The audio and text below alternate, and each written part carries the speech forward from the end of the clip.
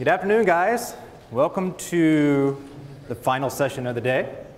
My name is Jason Conger, and this is Jeff Muir. Go ahead and introduce, yourself, Jeff. Yeah, I'm Jeff Muir from Citrix Labs, in, um, based out of Sydney, Australia. So all this equipment here that you see, this is uh, Jeff's equipment that came from Citrix Labs in Sydney, Australia. He brought a whole like data center with him to do this session.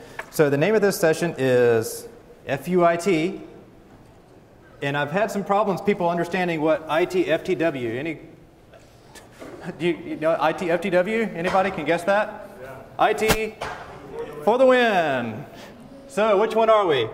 FUIT or IT for the win? All right. Again, there's our introduction. So my website, Jeff's website, Jeff hasn't come to the Twitter world yet, so no Twitter handle for Jeff. That might change this weekend. That might change this weekend. Okay, well, hold on while I plug this thing up to see if they're going to crash everything when I get the clicker. Okay, Does this work? Yeah, forget the clicker. It's not working. Did it?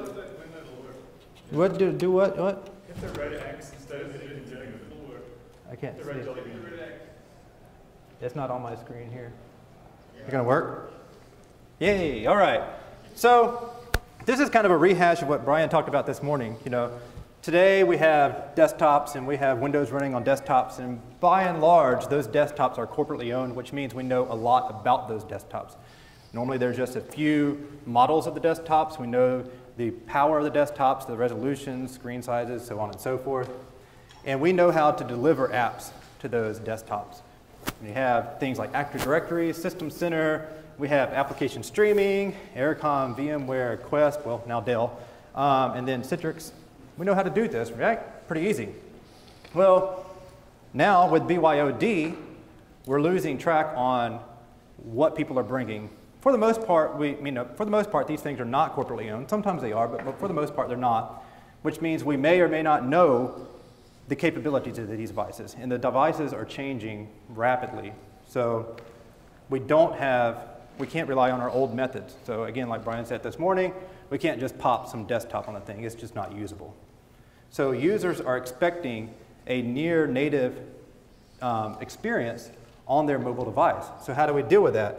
So users say saying FUIT and going and finding their own ways, or we can be IT for the win and figure out how we can give these users a native experience. So as an IT pro these days, this is what we're dealing with. This is a screenshot taken from Citrix Synergy earlier this year, HTML5, Windows, Mac, Android thing. This is what we have to deal with now. We have to support everything. So how do we do it? Um, well, so Mar, this is the question. So how do we deliver these, uh, the mobile experience and data to the users? Well, there's several different ways we can do this. You can take what you have today and just virtualize it. So whether that's a published app or a published desktop, you can just take that. But as you see on this scale, as user experience goes up, the application and development, development effort extends as well. So when I talk about security, I say security is inversely proportional to usability. What that means is as you tighten security, usability goes down. As you lack security, usability um, goes up. Well, the user experience in the application develop, development effort here is directly proportional, meaning as the user experience goes up, so does your, so does your effort in development. As user experience goes down, which we're right here, the development effort is very low and the user experience is very low as well. But it's an, a strategy you can use. So the next thing, you can rely on your ISV to develop some kind of application. Of course, you don't have much control of that because ISVs are doing what they do. They may or may not fit your use case, and then so you don't have really any control there. You have this kind of hybrid solution with this mobile enterprise app platform.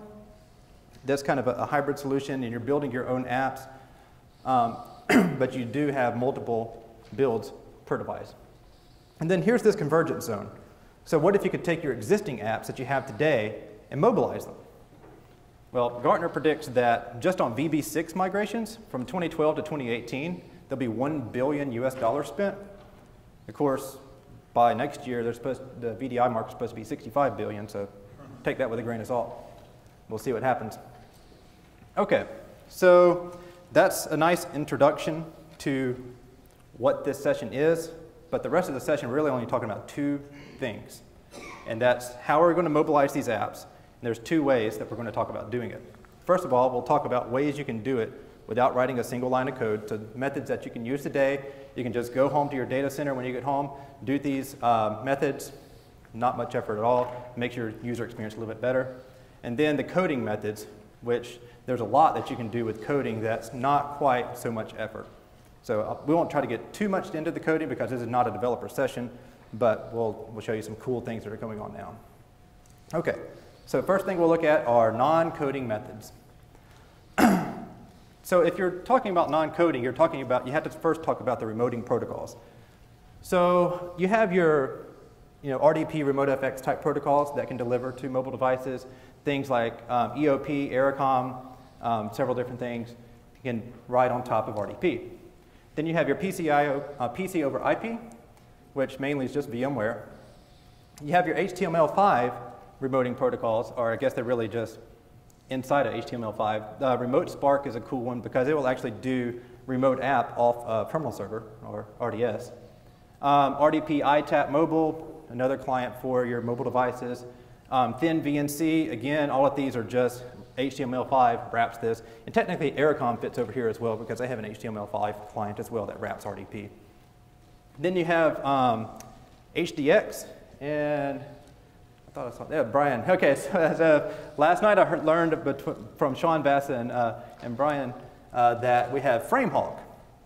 And so I just read up about FrameHawk. FrameHawk's kind of cool because they're actually looking at the frames on the wire and are allowing you to do some things with your mobile device. Um, from what I understand for the short time that I've heard about them, it's a pretty intensive solution, meaning you're going to hire the company to, to do some of these things for you. Um, Brian Katz, is that a fair assessment? sort of. Sort of? Okay. Your session is tomorrow at 11-ish, right? I have it on the, in the yeah. slide. Go, go to his session to learn some more about that type of stuff. Okay. All right, so anyway, you got to talk about the remoting protocol. So you're really stuck with desktop, and in some cases with HDX and Remote Spark, you're talking about application. So what can we do with just the remoting protocols, or I guess with the apps themselves, without writing a single line of code to give you a better mobile experience? Well, first of all, since your user interface is your finger, and your finger is larger than a lot of the buttons, you can make your buttons larger. So here, it shows an example of Microsoft Excel, and we're making the buttons bigger. And these are really just a set of registry entries. Um, I won't escape out, but you'll notice right here, there's an embedded Word document on this slide. That embedded Word document has several registry entries that will make your buttons bigger on things like the Microsoft Office suite. So make your buttons bigger, a little bit more touch friendly, no coding involved. Another method that has been done in the past is resizing your application. So this is a Microsoft Excel spreadsheet again, and there's several panes that are just um, drawn out there to match the size, in this case, is iPhone screen. And so as you go and you kind of, um, what you're doing is you're really thinking of your phone as a viewer for your application. Um, there used to be in receiver, I haven't confirmed whether it's still there, if you do a two finger swipe, it would be called a pane swipe and it would scroll over that many pixels. So if you do two finger swipe, it'd scroll 320 pixels. You're looking at the next, so as you're scrolling through, you're looking at the next pane and the next pane. So kind of faking it out, but still a little bit better. Not great, but no programming involved. Now, Citrix released something called the Citrix Mobility Pack that you install on XenApp 6.5. So if you have a XenApp 6.5 farm, and actually it's XenDesktop, right? As, in well, desktop as well. As well you can install what's called the Mobility Pack. What the Mobility Pack does is it expands the architecture. And there's two new virtual channels added to the stack here. You have a mobile receiver virtual channel, and then you have the location virtual channel. Now, the location virtual channel is going to pick up things like the GPS on your mobile device. And the reason these things are separated is because maybe you want to have some mobile receiver functionality, meaning you're going to get to your mobile device, but for, for privacy or security, you want to disable the, uh, the location. Now, these virtual channels are controlled by Citrix policies, meaning you have a lot of um, flexibility on when these things are on and off. So maybe you want it on if they're outside the network. Um, I guess inside the network it doesn't matter too much. Or you know, based on uh, endpoint security scans, things like this, you can control when these virtual channels are turned up and turned down. So pretty neat. Also in the mobility pack is a tablet optimized desktop. So again, if you're taking this to a mobile device, especially a small form factor mobile device, hitting the buttons is pretty difficult. But Citrix has put this kind of skin on top of the desktop. And it's really, I mean, it's switchable. You'll, we have a demo, but you see this kind of button at the top. You can switch back and forth between a traditional desktop and the mobile desktop. And it gives you a lot of uh, touch-friendly features and makes it a lot more usable. So here we go on our first demo. All right, so a little bit about the demo environment. What I have here, I have my iPad, and as long as AirPlay works okay, we should be good to go. okay, there we go, AirPlay. So what you're seeing is my iPad here, and I'm going to go into receiver, I'm going to launch a desktop. Fingers crossed this works. Okay, so there's my desktop. And then you see that it realizes I'm on a mobile device. So the, well, let me close Server Manager here. I actually closed the whole thing, didn't I? Improve my case with my big fat finger. Okay, let's do it this way a little bit better. All right, so here's my mobile device, as you can see here. So the start menu here is a lot more touch friendly. And as you're going through long list of things, a lot more scroller friendly, so your big fat finger won't click on things that you're not really meant to. And the look and feel is a lot more of what you would expect as well on the mobile device. And then the special My Computer button gives you a nice uh, uh, browser for your local machine. Of course, this is executing on the XenApp server. The XenApp server is running on my laptop over here. So you're browsing your file system. All of this is in the data center, and all of this is right out of the box. No coding involved. You see I'm switching back and forth. I need to get back to my traditional desktop, no problem hit the button, go back to the mobile style desktop. So that's pretty cool. So that's just like an app that runs, right? Jeff? Yeah, it is. It's like an app. I think, I'm pretty sure it's layered on top of the desktop. Yeah. And it's free? Yes, it's part of it. Where, where do you load it from? Uh, it's part of the uh, mobility pack, so you just have to get the, for 6.5, you have to get the hot fix for it. Right. It's just, you go to uh, citrix.com slash CDN for Citrix Developer Network. On the right-hand side, there'll be a, link for the mobility pack. There's, I mean, there's the mobility pack, and then there's a mobility SDK, so there's two different things. So get the mobility pack. That just installs on your XenApp server. And that gives you those policies, it gives you that mobile desktop, all that, totally free. Okay, any other questions before we move on? Yes, it was just released at the end of June, the, the same equivalent features for XenDesktop. And is that for both Mac and like iPad versus Android? Um, for, you mean iOS and Android? Yeah, for the receivers, that's right. All right. Yeah, the mobile desktop works on Android. Okay. Anything else? BYOD, man. That's right. All right, the next cool thing, this is still, we're talking about the mobility pack. The next cool thing that's right in there is, these are again policies. The, by the way, the desktop thing, the mobility or mobile optimized desktop, that's a policy in the Citrix policies you turn on and off. Here's a couple of more policies. So again, um, making it feel more native. You have a automatic keyboard pop-up. So you can turn this on. So whenever somebody clicks inside of a text field, the local device's keyboard will pop up. By default, if you don't have this on, then they have to go hit a button to have the keyboard pop up. Or if you're a Citrix receiver, you can do a three finger tap and that will bring up the keyboard for you.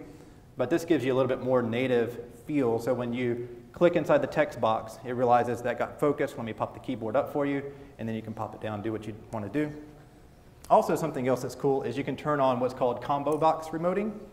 What that's going to do, whenever you have a combo box, which is just a drop down list in a Windows app, it will detect that that event happened on the drop down and then it'll pull up the native picker on the phone. So if you're an Android, it has a little block and it has little circles that you click.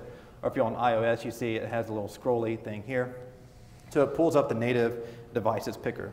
So let's see that demo. All right. Trusty AirPlay again. We're still on. Okay. It Didn't show up in the, so I think you have to reset It's, each it's time. back here. Oh, there it is. Let's do that. Okay. So this is just a, a character map published application. It's just built into Windows. I was just looking for some app to publish that had a, a drop down. So first of all, we'll do the, the text box at the bottom. As soon as I click inside that, you'll notice the keyboard pops up. It's a native UI field. You know, I do test and all that. If I click the combo box up here, you'll notice that the native picker showed up in place of the Windows combo box. So I can come scroll through here and pick out what I want on that combo box, giving the user a much more native feel than if this was off, then that combo box would drop down and it'd be very small lines and my big finger might miss the selection that I wanted. Um, this doesn't always work. So when I tried to publish this in Microsoft Word, it not all the combo box um, did the drop down. Um, you had an explanation of why. It's, it's trying to detect, but in some cases it can't figure out the best thing to do. So it's, it's doing the best it can, but you know, sometimes it comes with the keyboard pop-up, it might be too aggressive. You know, it might be popping up when it shouldn't pop up so much. But uh, when it comes to the combo box, it, sometimes it just doesn't see the, some of the, if it's done a different way, it doesn't see it, so it doesn't bring it up. Um, that's the long-winded answer. Your mileage may vary, so it's cool, but if users yell at you because it's not working, um, I'm, call Jeff. Hey. Sanders's screen screen latency reduction manager 15 years ago. Yeah, pretty much. Where it works with everything except for Office. Yeah, Yeah. damn office. It, it can be better perfected, Yeah. but it, w- it was actually done by a different group. It, we were at the bottom of the stack, and then they did stuff at the top. So, yeah, The stuff that Jeff writes is perfect. I don't say it's not, it's not true. Published apps? That was a published app.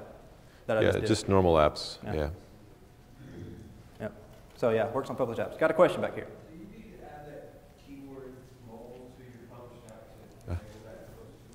So the question was, do you need to add that keyword mobile to your published app? I'm glad you brought that up. Keywords mobile. The answer is no, you don't.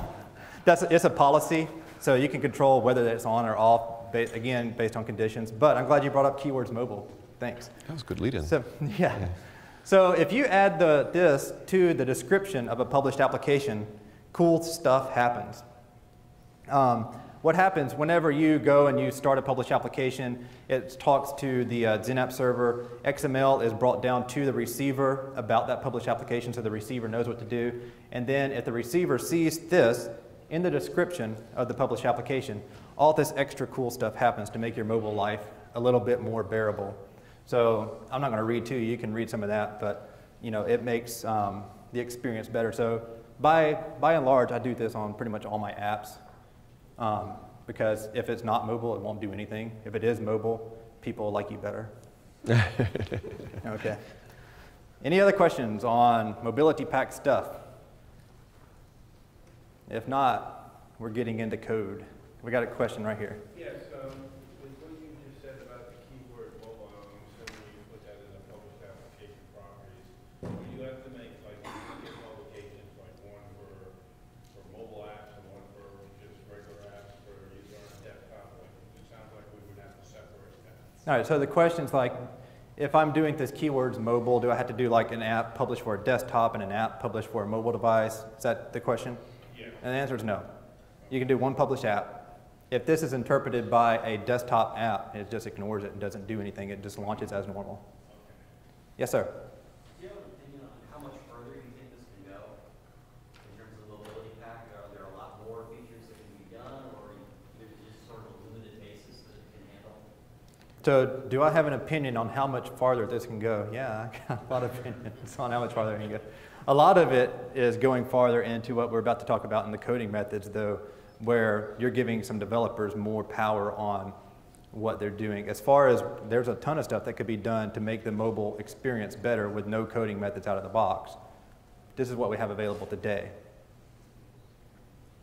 Yes, sir. Um, to, to, so to be clear on the keyword mobile having enabled, so you have the keyword mobile in your description or whatever, uh, it's only if you have a touch-based client that it enables these things. If you connect with a client that has a regular traditional keyboard mouse, then it won't add, it, it doesn't add any of this extra functionality. All right, so the, the, I guess it's more of a statement or Oh, a question. Okay, okay, the question, yeah, all right, so if you add this keywords mobile to the description of your published application, and you launch it with a Windows client or a Mac client, that's ignored and nothing happens. So that's what I said, so you can add it to all your apps. Right, you can, that, I do, I add it, I add this keywords mobile to all my apps. And so what happens is that keywords mobile is interpreted by the mobile receiver. If the mobile receiver sees this, it makes, it does some of the adjustments for you. And which one's the mobile receivers, iOS and Android? iOS and Android, On- iOS and Android are mobile receivers, right? Yeah. Do you need to have the mobility pack installed? Um, on just the keywords mobile? I don't think so. Uh, the receivers would be the one that are intelligent about it, so they would see it. Like, No, Right. you wouldn't need the pack, but you, you kind of need it to use it. So, you know, this doesn't Yeah. mean a lot if you don't use it for But something. for what it's doing, like the session size to make sure it's the, the right size and setting the drag mode on, this is all receiver stuff that you could go do on the receiver yourself. I'm 99.9% positive you don't need the mobility pack. So just in case I'm wrong, then there's that 1.1%. But yeah, because the receiver is the one that interprets that, that keyword's mobile, and it, the receiver makes adjustments for itself. Yes, sir. The keywords, do they, do they function through web interface or only through the receiver native UI? So the question is, the keywords mobile, do they function through the web interface UI? Um, I'm going to say yes. I'm going to defer I- to Jeff. I'm pretty sure that's right, yes. You're getting an ICA, well, actually, the receiver is getting uh, the, the same, whether it's coming through the mobile receiver or if you go web interface, it's getting, the receiver is getting something to launch. And now what it launches is really just a text file. So it has like, if you're doing secure gateway, it has that, or if, you know, the application name and all that stuff, the description's coming down with it. So it, the receiver interprets that. Yes, sir. Um, you said you needed the six five, uh, Xen for mobility pack, right? Right. Um, what about the XenDesktop? Is it also five six? So it's in It's- desktop. It's 5.6 FR1, which was So- released at the end of June. So to do mobility on XenDesktop, Zen Desktop 5.6, uh, FR1. pack- uh, feature release one. Yeah. Okay. All right. Good. Yes, ma'am. Jason, to that up, to, to be sure, exactly what I need to put into the description then is keywords, colon, mobile, no space, exactly like that? You put that exactly. Hmm? No. Um, I'm almost positive it's the S. I pulled. I think you're right. I'm very, I'm mobile? very sure. I'm almost right, positive it's the S. It's S. documented on the web. Uh, yeah, it is documented on the web. Um, if you go to citrix.com slash CDN again, and there is the Citrix mobile, mobile SDK, not the mobility pack, the mobile SDK. You click that, there's a document link, and then I pulled, I mean, this bullet point list I pulled from the website. I'm almost positive it's keywords. Uh, you verified? Okay, good, thank you, because I, I did type keywords. I've copied and pasted that text, but I did type, type keywords up there. Okay, any other questions? Okay. You guys ready for code? We're going to open up Visual Studio and we're going to open up Xcode and all kinds of stuff. All right. Okay, so when you're brave enough to say, I'm going to code something, here's the problem. You have different platforms. We're just focused on iOS and Android for now. And you have different development environments and different coding languages. So you have to think about, all right, am I going to do some Objective-C so I can do iOS? Am I'm going to do some Java so I can do Android. Um, iOS, you also need a Mac and you need a uh, Apple developer account if you're going to actually create a package that you can then distribute. So, and you know, developer account with Apple is something you pay for. Um, so there's a lot of questions on what are we going to do as an enterprise? What are we going to do if we're going to take the plunge and do some coding? Well, that's getting as close to the device as you can get is doing native code. What if you want to do remoting display, or I guess not even remoting display, but if you wanted to get not quite native, but you want to get closer to the device than just a remoting protocol. Well, first thing, you can do HTML5. HTML5 will get some of the device features, like it will let you get the location of the device. It will, there's some new form elements in HTML5 that gives you a little bit nicer UI, but that's about it right now. There are some hybrid frameworks. The coolest one I've seen is called PhoneGap. Anybody heard of PhoneGap before? Raise a hand. Wow. One, I two, there'd be more. Okay. All right. So yeah. yeah. Well, I know you have. All right. So PhoneGap is really cool. What? So the, the idea behind PhoneGap is they're thinking, all right, the, the slide I had before where all these development environments and IDEs and all that, there's like, you know, there's not a lot of people that know Java and Objective-C and whatever else that you need. So there are a lot of web developers out there. So what if we could let somebody develop with straight HTML or HTML5 and give them access to the native device? That's what PhoneGap does. It takes away the, the complexity of the Objective-C and all this. So it just lets you do web pages and then access things like accelerometer, camera, compass, contacts, file, geolocation, all this stuff. It lets you access all this stuff on the device, but you don't have to learn the coding language. So if you just know some HTML, you can write native applications for multiple devices. It's pretty cool. So we have a demo of PhoneGap. Okay, so here is what PhoneGap looks like. Uh, that, actually, this is Xcode. This is what Xcode looks like. This is a development environment for Mac. It's, written it's kind of hard to see. Let's, But you're not doing Mac code. yeah, I'm not, I, I would- it would- uh, I thought it was Command plus to zoom in. Uh, control and then two fingers up and down. Control, thanks, is not working. Has to enable those purposes. Nah, oh well. I thought, I had earlier, it's Command plus was working, but not now. Um, it's hard to see. Can you guys see that at all? Can you guys see this at all? No? It's Yeah, let me probably not. figure out- let- let- We'll take just a second to see if I can make this bigger. Can I do uh, a? You believe me? It's cool though. It, it, that's a hint to uh, move on. Yeah, that's a hint to move on. Okay. well, you'll, you'll see what happens. All right. I'll tell you what it is because I can't see. The, the, at the very top, there's a, a call out to some JavaScript that um, sets up what's called Cordo- Cordova, which that's what the code name is with this. And then here's the HTML right here. You have the body tag and then the body tag right here. And I'm just putting an image. It's the BriForum Chicago image. I'm putting a, a, a text box that says, send, you know, what kind of message do you want to send? A drop down list that says, what, how do you want to send it, like text or vibrate or light? Well, light only works on Android, so I, I shouldn't have put that there. And then a button that actually sends a message to your phone. This button says on click right here, run that script up there. So that script right up there is the PhoneGap stuff. So it's just one function call that will give me a native um, text message on my phone. Well, not text message, but a native alert on my phone. So this is what it looks like. Let's go run this guy. Here's my iPhone simulator. Here's my nice BriForum Chicago image. Then I want to say FUIT or IT for the win. We'll do text. Done. And oh, where'd my button go? Did I did I actually accidentally typed over my button? It looks like sorry, guys. Debugging on the fly here. Um, yeah, I accidentally put an equal sign here.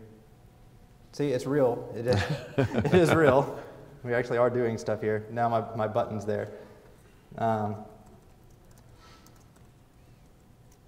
and then done there. Text. And notify. And so what just happened here is all of this HTML was wrapped in, is a wrapper. The PhoneGap is really a wrapper. All this was executing in PhoneGap, or in basically a viewer inside PhoneGap. When I called that special JavaScript to send the message, it went outside the wrapper, and the wrapper has access to the, um, to the native device and says, pop that message up on the native device. So this is pretty cool. This is actually developing um, native um, iOS mean, code here. So you can put this on the App Store. You can like once you compile this, this you'll have an IPA um, package that you can actually put on the App Store and charge for people, and people are doing that now. People are developing uh, apps that are on the App Store, charging for them um, on the App Store, getting paid and making money through this. Yes, sir. Wasn't that against like Apple's terms or something that to have apps developed in like other frameworks that wasn't, was there something like that or no? They, So- they found a way around it. They, when originally, like they were saying, you couldn't have Java inside an app to, to do other things. You know, you're not supposed to make it too generic. But what they're really saying is, well, we're just web pages. We're, we're just JavaScript, and we're running inside a wrapper. What's so fancy about that? Right. So that's how they got away with it. Yeah, the wrapper is native iOS. So yeah, it's like you have a wrapper that's native to the device, and then you have your web page inside that. So when the web page said, run that code to send a message, it told the wrapper to do it, and the wrapper went to native code to actually pop that message up. Does that make sense? So this is pretty cool. You're developing native apps with HTML. Now the code base will work on Android and anything else, but keep in mind, this is not a build once, deploy anywhere. If you want this on Android, you have to go pop up an Android development environment. You can use the same code, the HTML stuff that I did in there, but you're developing for different platforms.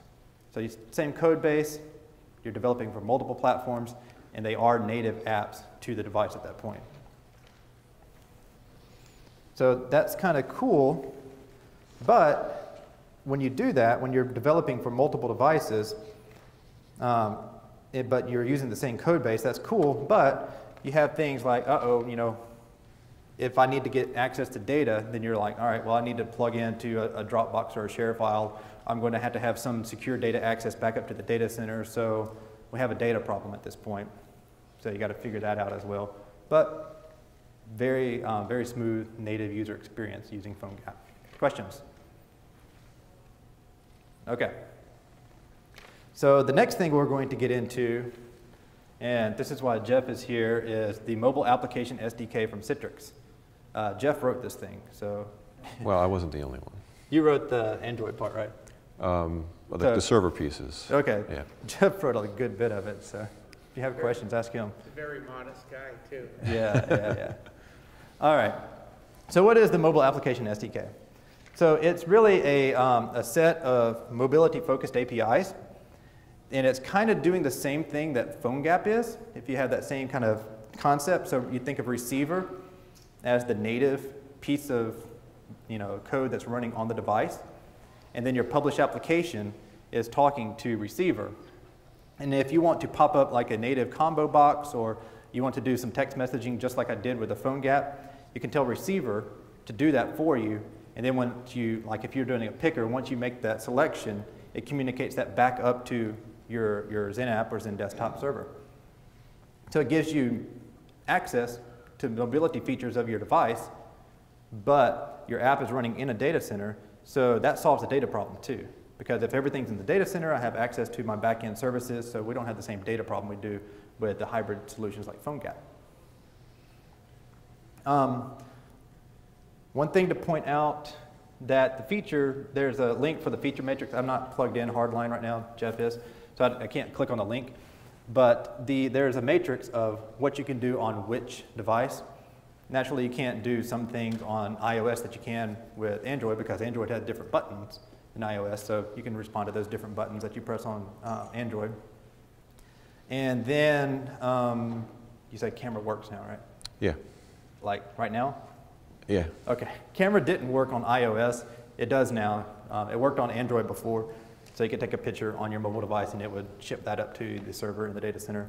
Uh, it now works on uh, iOS as well. Okay, so let's take a look at the mobile application SDK.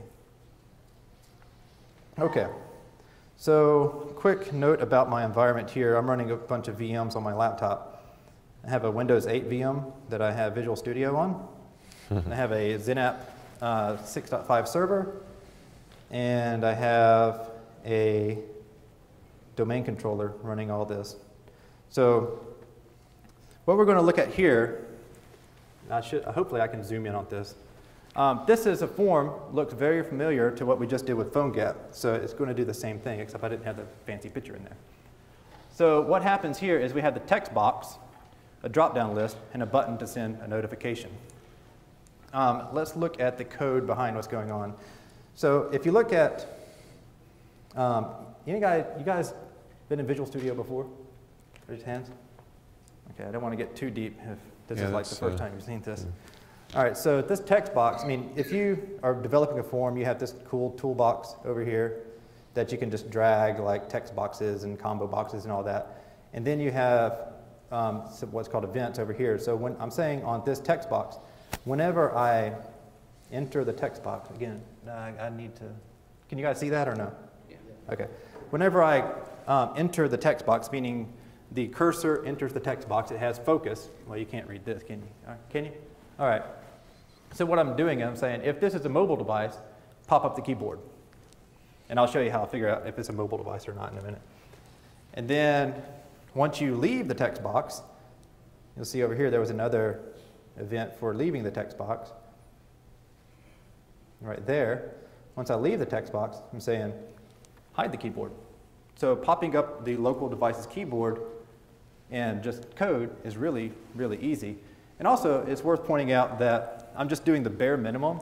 Right here, you can tell it to do all kind of cool things with the keyboard, like do autocorrect or add certain keys to the keyboard or take away. So that's kind of cool stuff that you can do too to control how that keyboard looks. Um, as I said earlier, I was going to show you how I figure out whether this is a mobile device or not. The first thing you do when you're doing a, an app like this is you import a reference to the mobility pack. Then I want to use the uh, namespace Citrix Mobility here.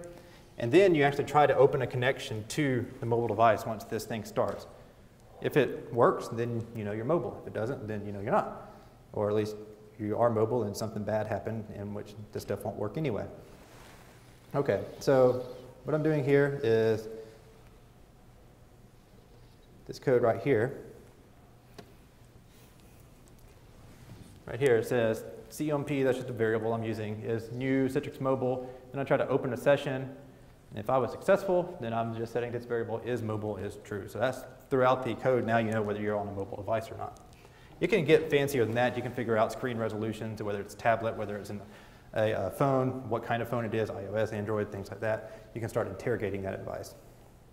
Okay, so also what I'm doing over here is on this picker, I set some, var- mean some items that it could be. Again, light, vibrate, audio, text. And then on the event on that, I'm saying whenever you see this event, uh, this picker drop down, or this combo box drop down, go run some code.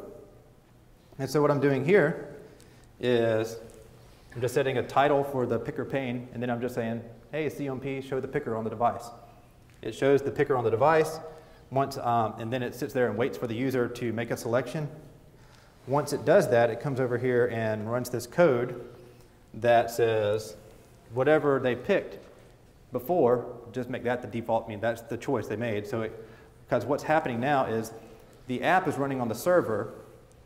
I just went in and I clicked the dropdown and the app told the receiver, pull up the native device's picker. So that picker is sitting there waiting.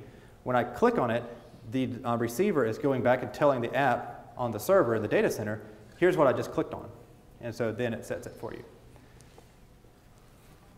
Then finally, the notify button, if you once you click on that, all it does is, um, I mean, this is how easy it is to notify. It means pop up this notification method. So CMP, notify user, and then there's some variables that you pass to it. One of them is the text in that box that I just uh, wrote. So fingers crossed that this works now. Okay. AirPlay.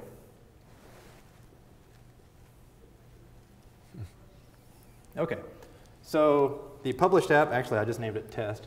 So the published app here, I'll launch that, fingers crossed. Oh, I didn't have my thing up here. Shh, don't look.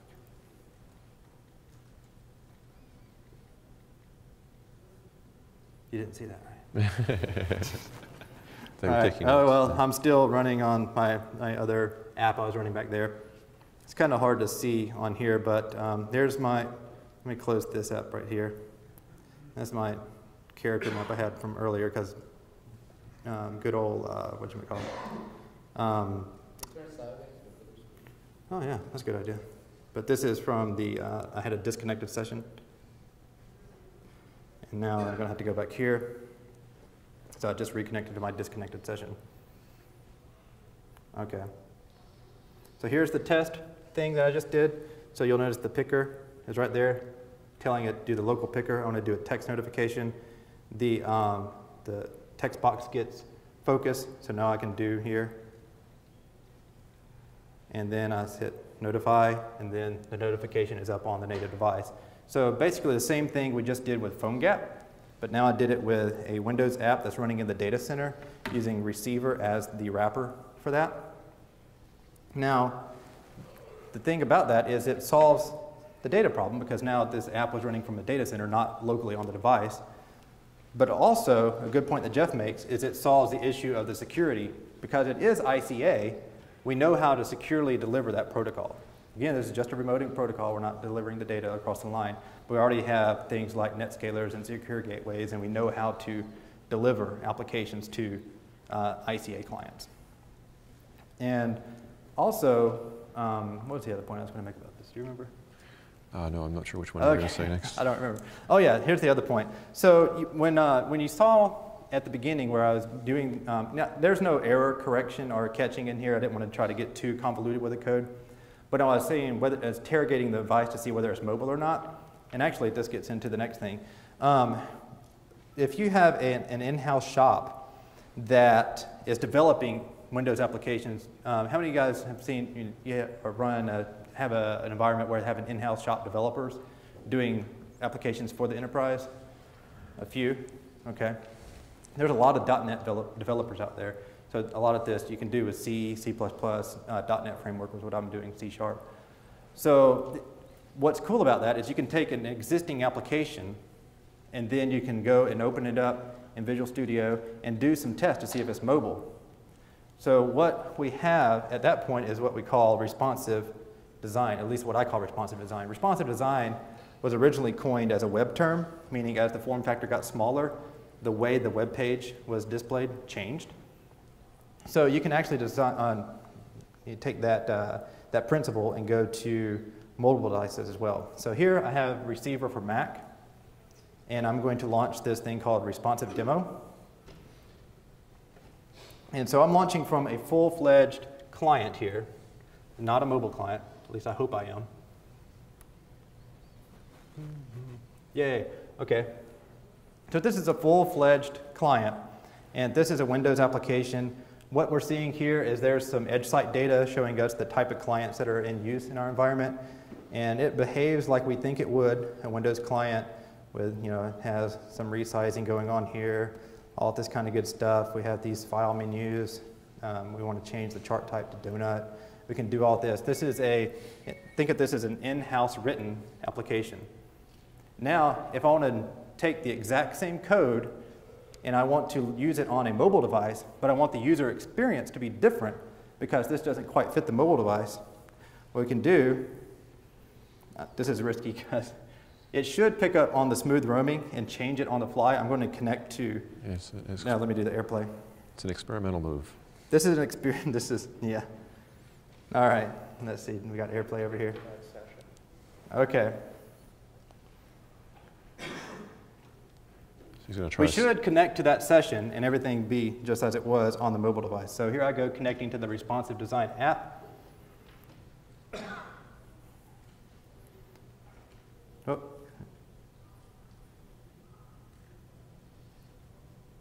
There we go. So we're still on the donut, but you'll notice now I'm just seeing the chart. The, all the Chrome of the window is gone. The file menu is gone at the top. the table is gone below. Now, if because I am mobile, if I click on the chart itself, pulls up native picker, and I say I want to go back to, oh no, I, it, I told you it's experimental. okay. It's real, it's a demo. Yeah, it proves it's real. Proves it's real. Okay. No guarantees. Okay, so clicking on the chart itself, you know, I can do different types of graphs. And now what's cool is because I'm on a mobile device, I want to take orientation and change it. The app that's running on the XenApp server that has no clue about orientation just responded to my app here. So now I'm looking at the table, now I want to change it back. I'm back to my chart. So this app is running on a XenApp server on my laptop, responding to orientation. And then also responding that this is a mobile device. It's the same exact application that I launched from my Mac that gave me the file menu and they had the dual pane and all that kind of stuff. So there you go. You can take existing applications, put in some features that will make it mobile. When, when you say it's the same exact app, Mhm. is it like compiled down to the same exe Yes. Yes. for both? For both? Yes. Yeah, so just to show you there was no magic going on there. Um, well, there was magic, but no trickery on the published app itself. You can, it's not trickery if it crashes, right? Yeah, it's not trickery. So this is the published app. You'll notice there's, I don't know if you guys can see that in the back, but there's only one published app called Responsive Demo, and you'll see the exe right there is the same um, for either way. So same executable responds differently on a mobile device than it does on a Windows client. You could take this farther and say, have, here's a full client run this way, or tablet run this way, or phone run this way, because once you interrogate the device, the device, it will tell you what kind of device it is and the capabilities of that device and the, the uh, screen size and the resolution and all that kind of good stuff. Um, okay. That is that demo. Are, are people actually using this now? Like, it seems like this is a lot of work. Or is it a lot of work? Like, if you're, if you have an app already that's, you know, Windows ready to go, does it take a long time to add these functions to it and figure out the difference? Or? Surprisingly, no. Um, we've had people convert apps first stage like in four weeks, five weeks. Um, it makes sense once you think about it. This, this code isn't a lot. It's just enabling features that Windows doesn't have. So if you take your standard Windows app, add a few APIs, all of a sudden you can do things you couldn't do before. Yeah. I guess we already, you've, you're already committed to HDX receiver and Citrix and all that kind of stuff, so it's not like a big, it's not like you're doing all this work for, because, because it seems like you're sort of like, you're locked into using Citrix for this, but I guess at this point you're already committed to them. Yeah, I think it's, Citrix is, is, it realizes mobility is a big deal, obviously, and this is a step in the direction of fully embracing what we can. Um, another message I'd give out right now that hasn't been said a lot is um, this is the first time that Citrix has asked developers to change code to better run on a platform. And that's something they've, they've thought about in the past and a long time ago, but then they thought, you know, who would listen to us? But now we need to do it to really target this market. You need to do something. You can't have a Windows app automatically turn into a mobile app. Does that make sense? Or? Yeah. Yeah. And also, to your point about um, having developers go through, it's really easy to figure out whether you're on a mobile device, and you could just do that, and that's really not going to change your code much, and incrementally change things. So if I want this one field to do something, you can do that, or start getting as fancy as you want. So you can do very incremental changes. Uh, we already did the responsive demo thing. Jason, uh, I Yes. at SMG and one of the customer walked up to me, he was insurance company. So what was more important to them was not changing their business logic and only changing their presentation logic. So mostly their app was like well written and their app was, and say they had a business logic which was separate and then presentation logic which was separate. Mm-hmm. So developers were able to change the presentation logic without changing any code which could change their business stuff. So I mean, that, their main concerns were if we go mobile, native mobile apps, which they want to in future, maybe two or three years later, but converting all that business logic on a mobile app or like HTML5 was taking more time on their own apps. This was like a stopgap. It was a nice thing to do. Just Yeah. the presentation UI and it was working well. Yeah, so what Michelle is saying, I mean, I've, I'm under the opinion that applications and desktops don't matter as much as data. Um, as long, I mean, the app is just a presentation for data in the end. So in a service-oriented architecture, we have in tiers and you have business logic as one of those tiers and the presentation of it is different. You can have multiple presentations of the same thing. So mobile, web, full client, so on. So this is a nice way to get at the data as well. Presentation logic, yeah. Okay, other questions? Another important point related to this is that uh, if you decide to go embrace um, native code with uh, iOS or Android, or, or if you decide to do hybrid apps or you decide to do web, the cost of porting your business apps is going to be huge. So this is really like a way of getting into that world without having to, you know, fully invest, Mhm. you know, with a new development team or whatever. Right. Okay.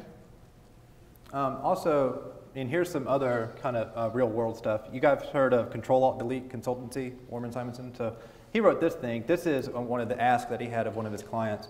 And this is a QR code reader. So this is a, an app that's running on the XenApp server and using the picture capabilities of the phone to go scan the QR code.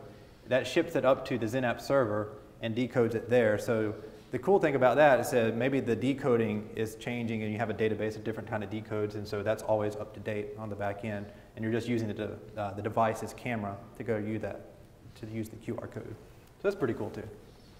Um, another cool, I would just like to relate a question. Um, the XenApp world is used to deliver apps. And so the question is really whether application developers are aware of this. That is, the people who develop apps go and do whatever crazy stuff they do. They've Yep. done that forever. Are they likely to go along to the XenApp guy who's busy trying to deliver SAP, right? and say, hey, what you got so I can write a mobile app? That, that's kind of like, you know, I mean, this is cool stuff. I love it. The problem is how do you make it work in the sense of reaching the depths? It's, uh, I think it's a process that's going to take time, like any new thing that comes out. I mean, even when Java first came out, I remember that there was a lot of interest, but there wasn't a lot of development that took years. I came out from a company whose job was to support developers. Right. Citrix is not that. Fair enough. So But uh, I, I think the, I have answers to your questions, but I don't know if you're ready to hear them. Um, in Japan right now, they're working on applications based on this SDK. They're already Citrix customers. They're using XenApp, Zen Desktop. Uh, they want to use their mobile devices. They have plenty of that, plenty of bandwidth. Um, so they're very keen to do things that weren't possible before. So it is a real thing, and they really are doing it. But I figure that people that are in Japan are a lot more ahead of the curve of what's going on here. So it'll, it might take a year or two before it catches on here. in what way are they ahead of the curve? They have a lot more technology, Um, uh, which technology? any technology. Phones, internet, cable, broadband, uh, fiber, it doesn't matter. We can talk about it later. I, I, I, okay. I mean, we can talk about it later. I mean, I, I, I think this is, this is awesome stuff. I want to see it succeed. I'm not attacking it. No, I know, I- and I'm not. I'm, I don't know exactly where you're coming from, you know. But um, what I'm trying to tell you is that, you know, Citrix obviously has not been in this market before. Even internally, um, it's hard to convince people that this is an interesting direction to take the company. Yeah. Yeah, it's definitely a, a hard thing because you have to go what cause what we're doing. Like guys in here, I mean, I'm not a developer by trade, and most of us, I'm, I would dare to say, are not.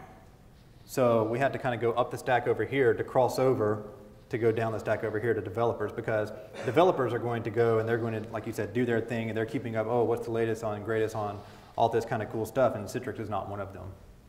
So how do we get the word out? I mean, stuff like this, Right for them. There you go. Although not that many people hear it uh, I Right. I think it's, uh, it would be great to see Citrix actually actively reach out and say, wait, now go down to devs for the first time because the app logic counts. You're investing in the app logic counts, now you can make it work somewhere else. Yeah. Do you have a question? Well, I got a couple of comments to what he's saying. I think um, part of the power of, of what, what this can deliver now is, is for more, perhaps more senior members in the organization who have apps and are looking at the BYOD issue, looking at how do we marry the two, and this is a great way of, of bringing them together. But there are, obviously, there's problems with it. I have a workforce of service techs that have um, handhelds, and um, they they go down into the bowels of the earth sometimes. They don't have any connection, you know. So obviously, we've it's not going to solve a lot of my problems, right? right But that it's, it could solve other problems, you know. Yeah. But um, the other comment was uh, Citrix did a, a big event there, I guess last week, um, and in Toronto, what they did was uh, uh, they had uh, they had it coincide with the Batman release, and they did this 20 or 30 minute video. And I talked to some of the Citrix guys there, and they're pretty um, opinionated in the sense that they think that this is going to solve the BYOD problem.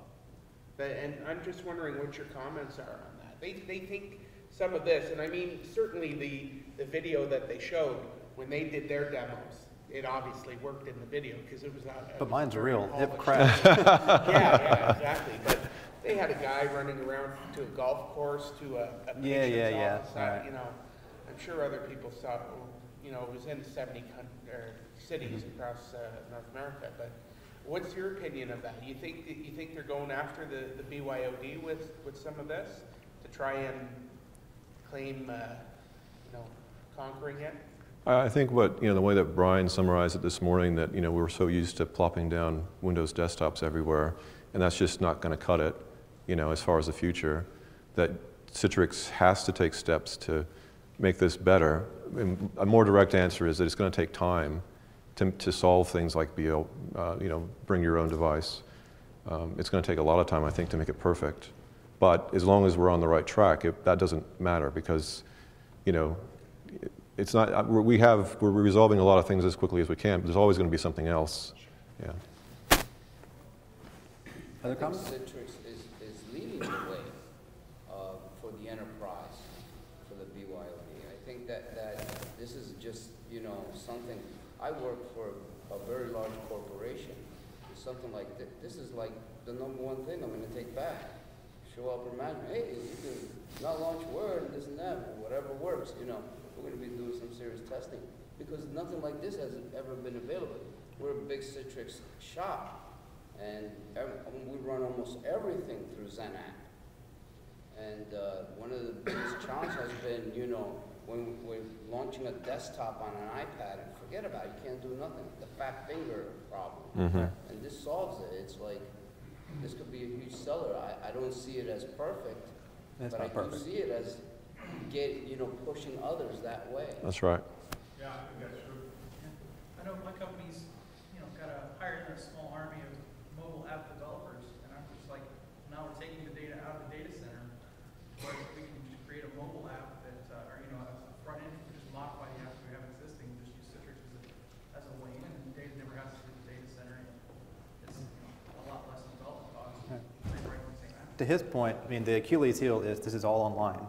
So It's all network-based. it's all network based. There are, but the, but the value is, sorry, if I could throw in, I mean, there's enormous value in the fact that you have an app base. The, the change in CPU architecture on the client, for example, means that if you were gonna take stuff out and actually do data processing on the client, you Right. better go to Haskell, technology. Right. You have no idea whether it's gonna work. Absolutely. So, Yeah, there are use cases either way, and both ways, I can, basically, there will be use cases, I'll tell you another use case, which probably you may be showing in the future, but there's, um, a Department of Police, um, trying it out, or a GPS app, so when the traffic cops catch people, they want to take the picture of the plate, process it, goes into the XenApp servers on the back end, and a GPS location right there on the device. So it's not just the virtual channels, the, you know, all those things can be sometimes really cool. So there are use cases either way when you're online, and obviously, there will be mobile apps when they are needed, like Salesforce is doing a mobile app now, it can be cached locally, even like all your Salesforce data on your iPad now these days. So there are the use cases. There is no one thing which will solve all the problems. There are use cases for this, but if you think that this is good, you know, I'll talk about this tomorrow, and I know Jason and I talked about last night.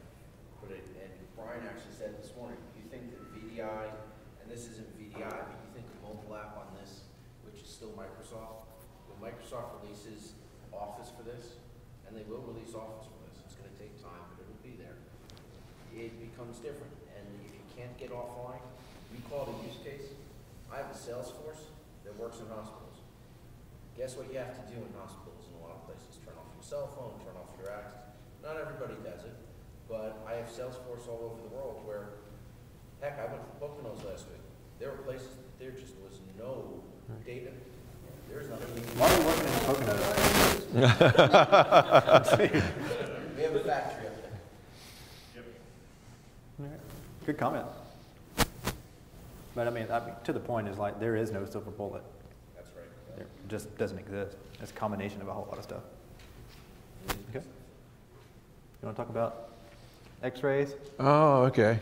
Um, when we first, uh, later last year, we were approached by um, Avanade, I think that's the right, Avanade. which is part of Accenture, and they're a, a forward-looking group that looks at developing applications and, and solutions. And in this case, it was for a, a medical uh, application, and they, uh, it probably took them about, I don't know, five or six weeks to to port something that they already had to run um, with our platform. So hopefully um, I can get it all working. You'll have to switch to VGA, I think. Hold on just a second. Where's your VGA port? It should be, I'm not sure, yeah. It's on the back. There it is. I like that we can do that now. That BriForum switch over VGA. Or I think we can. Yeah, I hope so. Maybe. Okay.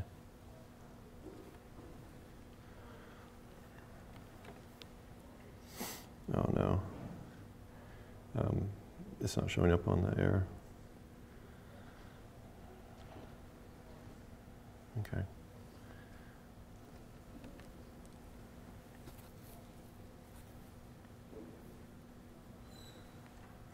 I just have some technical difficulties with showing the, uh, the screen. Look at both. Oops. It's not showing up. I don't know what I can do now. No? I can't do it then. All right. Well, sorry about that. Yep, sorry. It's real stuff. Um, we're almost out of time, so I wanted to skip over to the last slide here, just further resources. Um, so here, Brian up here, Brian Katz, uh, up here talking. So he has a session tomorrow at 11:40 about you need a mobile strategy too. So he's kind of continue this conversation that we started here. Um, there's Jeff's blog, citrixblogger.org. Um, then I, I put my blog here. I'm trying, I mean, some of the responsive design, that the app that you saw earlier, um, with the whole pie chart and all that, that's open source and free on my website as well. Uh, Warren Simondson, we showed his stuff. He actually, if you know him, he has all these cool free tools. Well, he released all the source to all of his open, um, all of his free tools. There's a link right there. You can get the source code for everything he's written that's free. PhoneGap, the stuff that I showed you, there it is, their website. Um, the mobile app SDK docs, where you see the keywords mobile and then the feature matrix and things like that, and then uh, Brian's session tomorrow. And we're almost out of time. Any more questions? Do you want to try to do the thing while we're checking questions? Okay. you brought all this equipment That's pretty from stressful. Australia. um, Do you have um, VGA out on this? I don't have a VGA Ah, out. Okay. Or you can, well, I, I don't know. Other questions while, he try, while we try to get, oh, well, I see your screen. Dude, Oh, magic. Cool. well, not- this screen though, right? Yeah. I switched away, that's what happened there. Okay. Remember to fill out your, your comment forms. Um, Dave and Buster's tonight. And I hope I mean, if we can get this going, you're welcome to stay for another five minutes.